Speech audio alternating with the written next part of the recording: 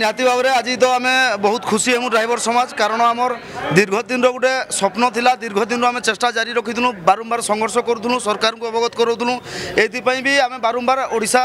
জনসাধারণ হইরাণ করেদেছু যেটা স্ট্রাইক ফ্রাইক করি নিহতি ভাবে আমার নিজপাই করুলু সেটা সমস্ত ক্ষমা প্রার্থনা করবি কিন্তু আজ আমি মানে নিহতি খুশি হলু মানবর মুখ্যমন্ত্রী লেট্রে হো বরং আমার কথা বুঝিছন যে ইন্সুরান্সটা ঘোষণা করে আজ প্রথম করে মানে গোটে ড্রাইভর মরিগলে যে চার টাকা পাইবার লাগে যোগ্য না হোলা তার পরিবারটা বেকার হয়ে যাওয়া আজ কিছু নহলে সে দুর্ঘটনাজনিত মৃত্যু হয়েছিল চারি লক্ষ এবং নর্মাল ডেথ হয়েছিল দুই লক্ষ টাকা পাইবা পাই যোগ্য হয়ে পারলা বা আজি আমার প্রসেসটা আরম্ভ হয়েগলা যেহেতু প্রারম্ভিক পর্যায়ে আজ তিনজন আমার ড্রাইভর যেত দেহান্ত হয়েছিল তাঁর পরিবারক আজ সহায়তা মানবর পরিবহন মন্ত্রী তাঁর নিজ হস্তরে প্রদান করছেন অনেক ডিমান্ড আপনার পাখাপাখি দশটি ডিমান্ড তা ভিতর অল্প কিছু ডিমান্ড পূরণ হল ডিমান্ড রয়েছে নিশ্চিত ভাবে আগামী দিনে সে ডিমান্ড পাই নিষ্পতি ক্রমে আজি ওড়শার সবু জায়গায় ধর্মঘট করা যাইছি এবং ধর্মঘটর মূল দাবি লা ଯେ କେନ୍ଦ୍ର ସରକାର ଡ୍ରାଇଭରମାନଙ୍କୁ ଦଶ ବର୍ଷ ଜେଲ ଏବଂ ସାତ ଲକ୍ଷ ଟଙ୍କା ଜୋରିମାନା କରିବାକୁ ଯେଉଁ ଆଇନ କରିଛନ୍ତି ତା ବିରୁଦ୍ଧରେ ଓଡ଼ିଶାର ପରିବହନ ଶ୍ରମିକମାନଙ୍କୁ ନିଷ୍ପତ୍ତି ନେଇଥିଲେ ଧର୍ମଟ କରିବାକୁ ଆଜି ସକାଳୁ ଯାହା ଜଣାପଡ଼ିଲା ଯେ ରାଉରକେଲା ବାରିପଦା ବାଲେଶ୍ୱରରେ ବସ୍ ସମ୍ପୂର୍ଣ୍ଣ ଚଳାଚଳ ବନ୍ଦ ରହିଛି ଏବଂ ପେଟ୍ରୋଲ ଡିପୋ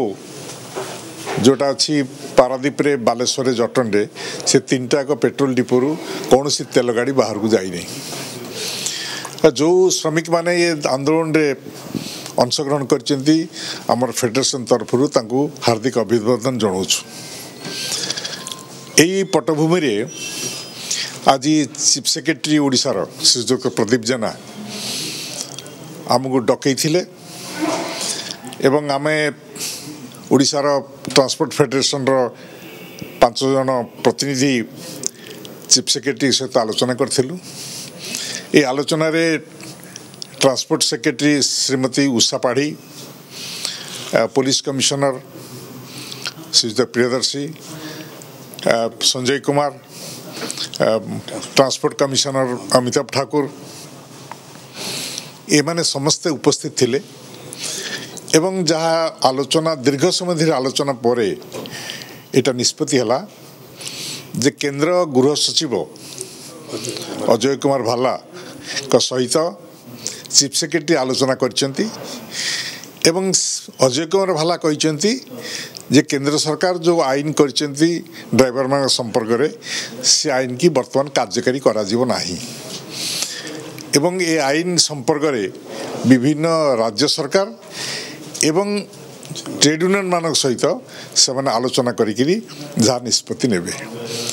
সুতরাং এটা আমি বিচার করছু আমার চাপ ফলরে ভারতবর্ষর বিভিন্ন রাজ্যের শ্রমিক মান চাপ ফলরে বর্তমান কেন্দ্র সরকার এই যে পছকু ওহরিছেন এই আইন কি লাগু করবে না বলে যে কিন্তু সেই পটভূমি আমি আমার ধর্মঘট আজ প্রত্যাহার করছু এবং ওড়িশার সমস্ত ପରିବହନ ଭାଇମାନଙ୍କୁ ଆମେ କହୁଛୁ ଯେ ସେମାନେ ସତର୍କ ରହିବା ଦରକାର ଯଦି ସରକାର ଏ ଆଇନକୁ ଲାଗୁ କରନ୍ତି ତାହେଲେ ସାରା ଦେଶରେ ଏବଂ ଆମ ରାଜ୍ୟରେ এই ঘূর্ণি আইন বিরুদ্ধে প্রতিবাদ এবং প্রতিরোধ করা সমস্ত আগভর হয়ে আগিয়ে আসবে ভবিষ্যতের এই কামনা করছি এবং আশা করছি যে আমার পরিবহন ভাই মানে শ্রমিক ভাই মানে সে অবস্থা বিচার করবে এবং গাড়ি চলাচল আরম্ভ করবে